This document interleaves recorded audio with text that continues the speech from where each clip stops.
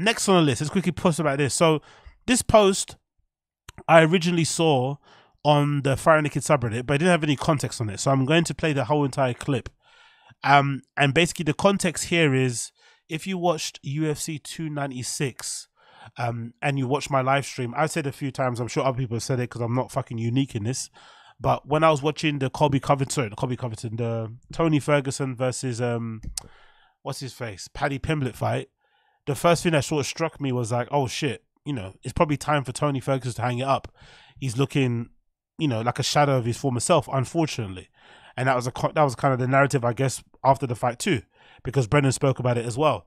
But Brendan had an interesting point when he said that. It's also it kind of seemed to really get under his skin that people are saying this as a comment that Tony Ferguson should retire.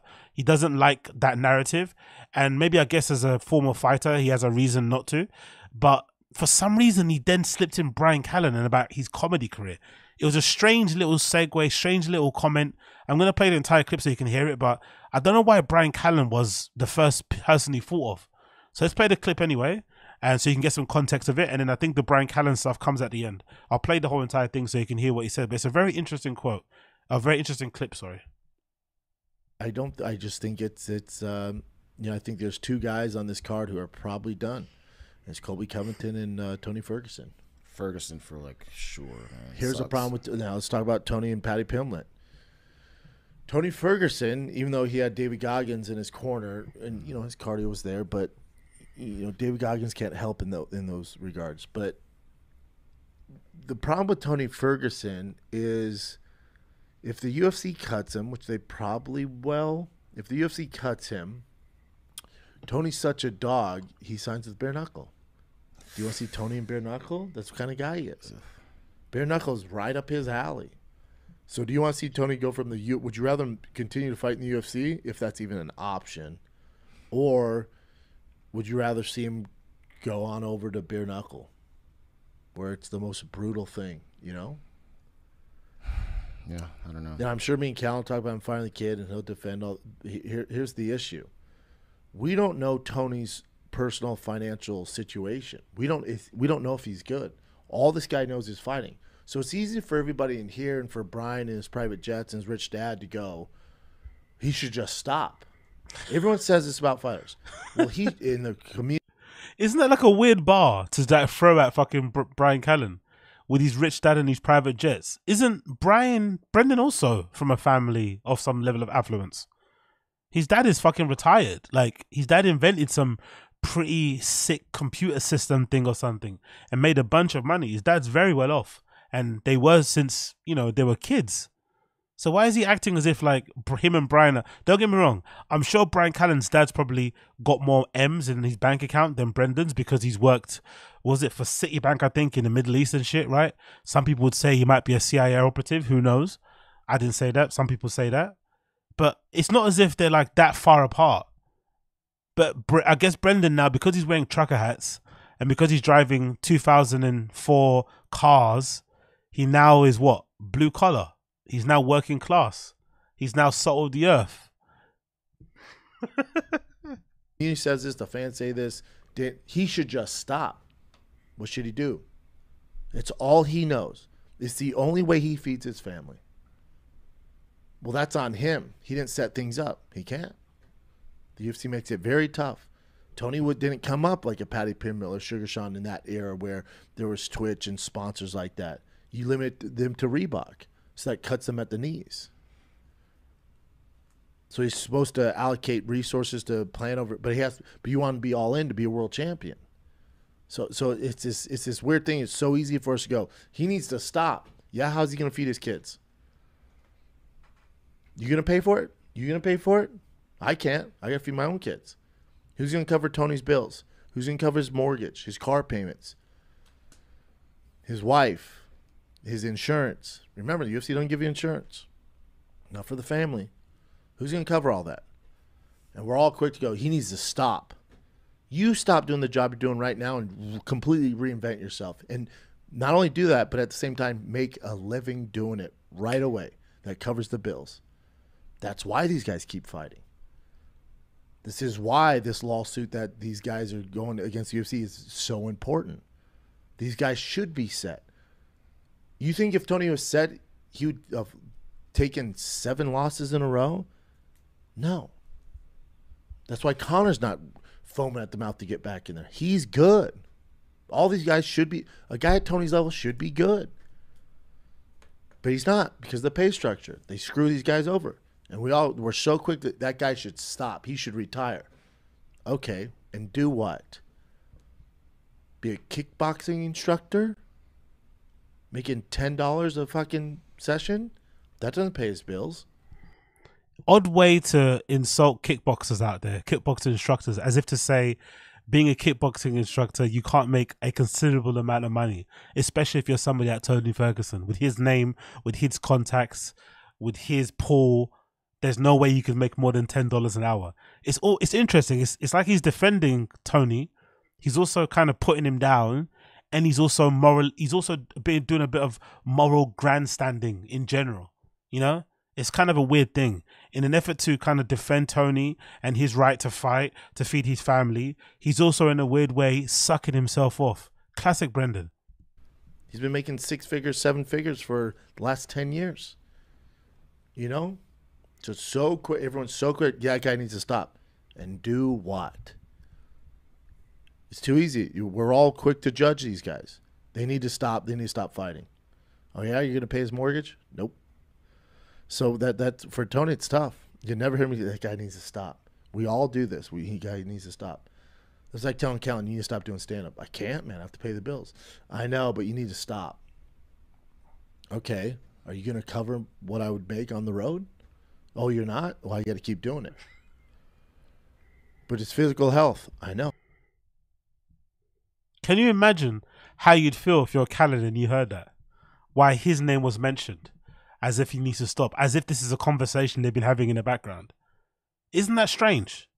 The Tony Ferguson point that he made is whatever, it's redacted, right? Tony Ferguson's been in the I think they did they even start UFC at the same time, period. I'm not too sure. But in my head, I believe that Brendan and Tony's t- start to the UFC wasn't that far apart in terms of when they first got into it. I don't know. Maybe I'm maybe I'm mistaken. I'm not gonna fucking look at the details to find out. But run with me here a bit. It's not as if Tony's been fighting since, you know, it's not as if Tony only started fighting in 1987. He's been around when there's internet and there's social media. He's got a decent social media fucking platform and profile. I'd imagine he's probably got hundreds of thousands of followers, if not maybe a couple of mil. He's not a fucking, you know, nobody out here. He's had some very big, epic fights. Some of that he's lost, but on huge cards. He's probably made a decent amount of money over the years. If he's invested it well or saved it well, he's probably okay for the most part. You'd imagine he'd probably be okay. And if he did retire and he did kind of decide to hang up his gloves, I'm sure there are plenty of opportunities that he could kind of, you know, get involved in if he did want to do it. Whether it is go to bare knuckle, whether it is doing analysis shit, he's not going to be short of options. So this weird fake faux empathy concern thing he's doing is a little bit lame. But let's move on to the Bryan Callen thing. The Bryan Callen thing is the interesting thing he's making because I almost feel like he's talking about himself.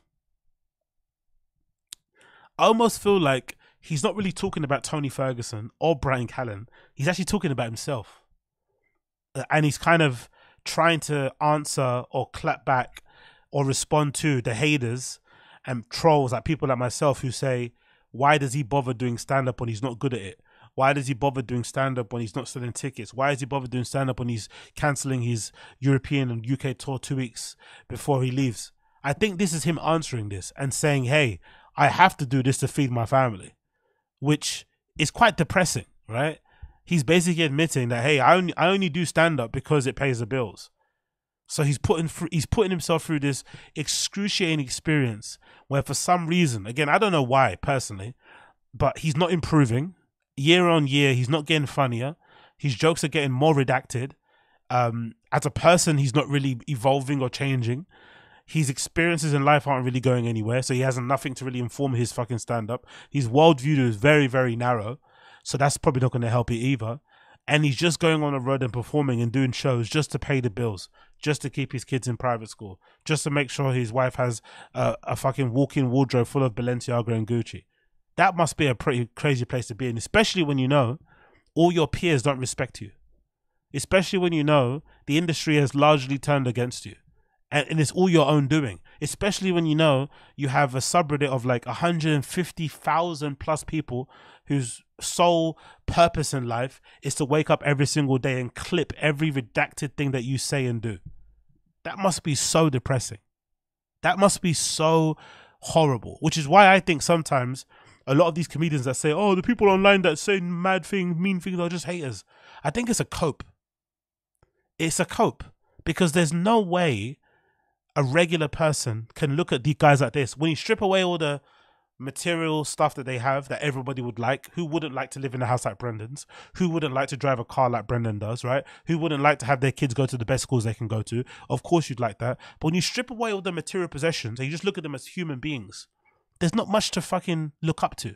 There's not much to envy. There's not much to want there really or be jealous of at all in the slightest. So when people poke fun and tease these guys or whoever they are in stand up, it's usually coming from a real place. It's like, hey, you're a redact. You got given this amazing opportunity to do what the hell you wanted with life, to basically get paid for talking into a microphone and telling fucking dick jokes on stage. And look at what you're doing with this opportunity. Look at what you're doing with this once in a lifetime opportunity to just make a living, you know, via the virtue of being an adult child. And look what you're doing. You're fucking it up. People are allowed to point and laugh at that. And then when you speak about world issues, you sound incredibly, incredibly detached from reality. That's why it's funny, and that's why it will continue to be funny, because for some reason these guys can't seem to wrap around their heads that regular schmegular people like you and I, maybe are just looking at things from an objective point of view with no investment and thinking, hmm, why is he doing this? Why is she doing that? Why are they saying this? Why are they going there? It's like it doesn't make any sense. And it's kind of wild how they talk about each other also. Because imagine being imagine this being your co-worker, one of your best friends, and they go on one of their shows and they talk about you in this way. They use you as an analogy of how you should stop doing stand-up. They kind of uh, dismiss your opinion because you grew up rich. You grew up with a silver spoon. They dismiss your right to have an opinion. They say you can't have an opinion on one of the most, you know, highly regarded fighters in the UFC. You can't have the opinion that maybe he should retire for the sake of his health. You're not allowed to have that opinion because you grew up rich. Imagine how that make you feel, especially if you're Callen and you're the guy that, in part, gave Brendan a fucking career, and here he is, you know, mocking you, taking the piss, and talking down on you. it's kind of wild. It really is kind of wild. But I honestly do think this whole point that he made was mostly about him. I think mostly about him. He's heard people say, "Hey, you should quit. You're crap. Your specials are horrible. Worst, spe- worst voted special of all time. Blah blah blah." He's heard all the stuff, but he's basically saying, "I do stand up to feed my family," which in fact might make him a blue collar stand up comedian. Oddly enough, that actually might make him a blue collar stand up comedian. He clocks in and clocks out. There's no wanting to put on a fun show. There's no wanting to talk about things and break taboos and push the envelope and change the game. Nope. It's all about blue collar worker. Clock in, clock out. I'm here to feed my. It's like that meme. Brendan is that meme. I think I'm gonna make this as a thumbnail. You know this one? That's Brendan when it comes to stand up comedy. it ain't much, but it's honest work. That's what it is, you know? These comedy gigs are not a way to provide entertainment. They're not a way for him to like achieve his dreams and get, you know, maybe follow in the footsteps of his idols or just create cool work or leave a legacy. Nah, it's about clocking in and clocking out. And personally, I couldn't think of a more horrible, horrible profession to do as a job. You have to love what you do. Can you imagine being a like I love DJing, right?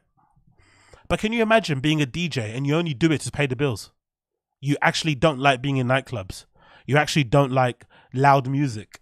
You actually hate ravers and people coming up to you and saying, "Hey, I love you." As a imagine only doing that just to pay pay the bills. Imagine how depressing that must be. Every day having to leave your house, get on a plane to go play somewhere exotic, and you're hating every minute of it. That's horrible. Imagine that. So imagine being a stand-up comedian and going to fucking comedy bars, going to the fucking I don't know the Laugh Factory in fucking Omaha, or some comedy club in a fucking shopping mall or in a casino, and you're having to do it just for the money. You don't love it. You don't care about it. You don't want to. Nothing. It's just for the money. It's just to make sure you can keep paying your car note. Ouch. Ouch. Ouch. Ouch. Ouch. Anyway, what you guys saying in the chat here? I've been rambling on my fucking monologue forever. What are you guys saying here? Um, all these all these guys blow their money on drugs and hookers and buying expensive shit. They probably are broke. Says cast iron pan. Yeah. Um, I don't think there's a big drug problem with those guys. I don't think so. You know, I just think it's probably lifestyle. I don't think it's drugs. I think it's just lifestyle. Getting planes everywhere, buying clothes and shit. I don't think it's drugs. I don't. I don't get the feeling these guys are like hooked on drugs. I think if a comedian was on drugs, they'd be just crazy. You you could tell it straight away. I don't think there's many of these stand-up comedians that are like doing party drugs, for instance. They might obviously do pills and shit, but I just think it's it's, it's actually way more lamer. Yeah, it's actually lamer that there's not more party comedian guys who are like pushing it, right? Like who's the guy that had his um who blew out his sinus from doing too much coke and shit? There's no there's no more those kind of rock star guys. If anything, they're just wasting their money on flying out fucking seventeen year olds to come and see them perform somewhere and then fucking them in hotel rooms. That's probably where they're wasting all their money. That's the funny thing about it. It's not actually going to anything fun. It's actually going to like, you know, hooking up with underage girls, which is Yeah, Artie, exactly Artie Lange. There's no real like where's the rock star comedians? Where's the fucking who's the guy that smokes all the cigarettes and shit? Where's those guys? He he looks like a fucking comedian. Drinks beer, smokes cigarettes, has got really, really, really interesting and forward thinking and controversial points. You know, pushes melds politics and dice. Come on, man. Come on. Where are these guys? They're all vanilla. They're all fucking boring. Would you really want to go on a night out with any of these guys? Really, on a night out? Really? You know? Nah, I'm all good. Even Luis J Gomez would you really want to party with him? Not really. You know, they're not fun. They don't really. There's nothing going on there. It's just what? What are they doing? Boring. Boringo, boringo, baranga, boringo. Um. Anyways, let's continue on. Um. Let's see this. Oh, what? Sorry, I was reading the chat, wasn't I? Um, 150k, damn Seduce. Yeah, yeah. I saw a post recently. Actually, if you go on there, they've got a little celebration post where they're talking about um crossing that milestone. So there's over 150,000 people on that T-Fat-K subreddit. It's absolutely crazy, man. It's fucking insane. I fucking love that place. Um, big up Ryan Joseph. Why can't Schaub look at the positives ever? He makes everything dark and negative. Yeah, because his life is dark and negative, brother. It is what it is, isn't it? It's, it's, it's, it's, it's, whenever I hear him speak about those type of things, because he's a crazy narcissist, it's always going to be kind of him talking about himself through those stories it's never usually about the story. It's always somewhere in in part talking about himself because it involves hate, it involves people telling you what to do. Uh, because he's kind of saying that Tony Ferguson point as also a way to kind of explain why he took the Showtime deal. People always say I shouldn't took the Showtime deal, but what would you do if you were me? What would you do if you were me? It's like, bro, back then you're you're still underestimating how popular and well liked you were back then. That that period before Showtime, Brendan was actually not as hated as he is now he was still in Joe Rogan's good books. If he just would have let that Showtime deal go for one year, just one year, not even two, one year only, it would have been much the better for it, probably. But again, short sighted, takes it. And then when he took the deal, so people also mistake that when he took the deal, it wasn't like he was being like humble about it. He was really letting his nuts hang.